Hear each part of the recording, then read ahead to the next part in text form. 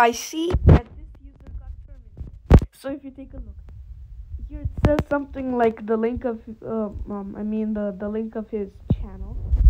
We are at and put http two point two dot slash slash youtube dot com slash chan channel and let's see what pops up.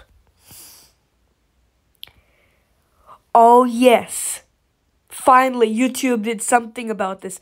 This account has been terminated for well it says like for nudity and sexual content. Good job YouTube because uh at least you finally did something about this. Finally. Why do uh, why do I say because um you know um he was posting nudity uh I mean he was posting content of him naked and then he used some alts to say cute.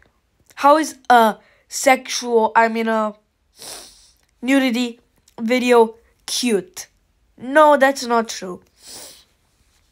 And plus, he kept bashing opinions on Samsung Galaxy Geo S4, S5, and these. Just because we don't like a destruction video out of a, our favorite Samsung phones, you don't mean you're gonna say no. Or something. Or N-word.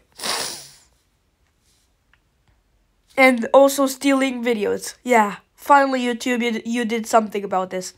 I hope he is IP banned. I thought he was dead. I thought he wasn't here anymore. But look, Anyways, now that he is gone, we gotta celebrate.